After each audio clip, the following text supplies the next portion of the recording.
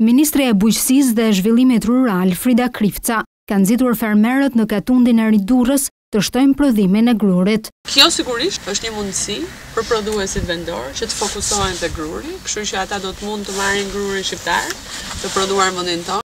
Shqipëria nuk mund të importojë më grur nga Rusia, shtet që plotësonte një pjesë të nevojave të vendit deri para luftës me Ukrainën. Megjithëkëtë, ministrja e Bujqësisë siguron se nuk do të ketë probleme në gjetjen e tregjeve të reja. Kam takuar përpunuesit e grurit në vend për të kuptuar a mund të ketë problematika dhe më kanë siguruar që në rastin se do të kishte problematika, ata do të mund të riorientonin kërkesat e tyre në tregje të tjera.